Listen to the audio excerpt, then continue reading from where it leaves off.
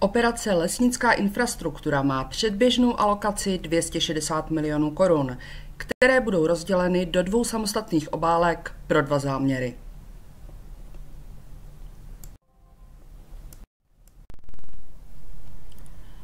Rozdělení do dvou samostatných záměrů je hlavní změnou v jedenáctém kole příjmu žádostí. Záměr A bude zaměřen na výstavbu nových lesních cest 1L nebo 2L a záměr B je určen pro rekonstrukce stávajících lesních cest.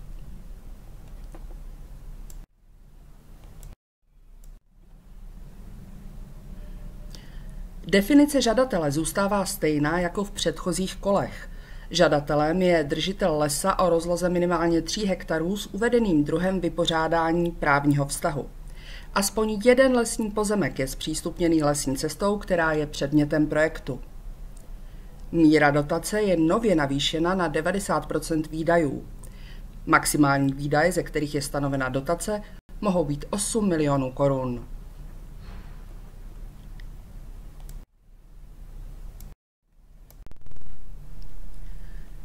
Na tomto snímku je uvedeno, na co konkrétně lze dotaci poskytnout v jednotlivých záměrech, případně které výdaje jsou společné.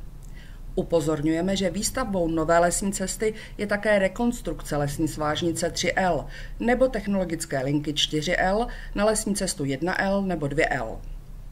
Kromě výstavby či rekonstrukce lesní cesty patří do způsobilých výdajů také vybavení cesty, projekční práce nebo nákup pozemku.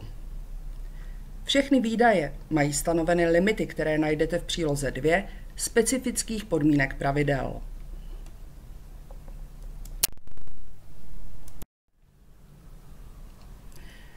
K podmínkám patří, že na projekt je nutné mít souhlasné stanovisko Ministerstva životního prostředí. Pro záměr A platí, že projekt bude podpořen jen v případě, že realizací nedojde ke zvýšení hustoty lesních cest nad optimální hodnotu. Pro ověření této podmínky je potřeba doložit stanovisko Ústavu pro hospodářskou úpravu lesů. Žadatel může podat v rámci jednoho záměru více žádostí o dotaci, a to v případě, že každý projekt realizuje v jiném lesním hospodářském celku nebo zařizovacím obvodu. V rámci jedné žádosti o dotaci může žadatel realizovat pouze jeden způsobilý úsek lesní cesty.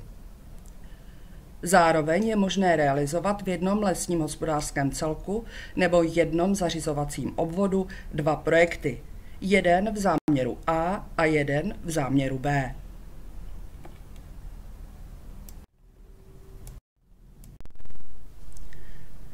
Jako další podmínku musí žadatel povinně předložit projektovou dokumentaci vypracovanou autorizovanou osobou a odpovídající příslušným požadavkům.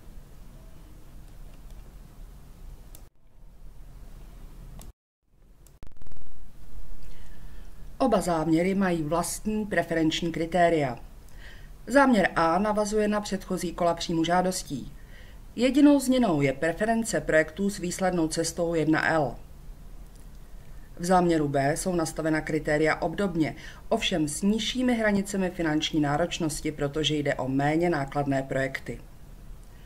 Nově bylo zavedeno kritérium zvýhodňující lesní majetky s výrazným zastoupením jehličnanů.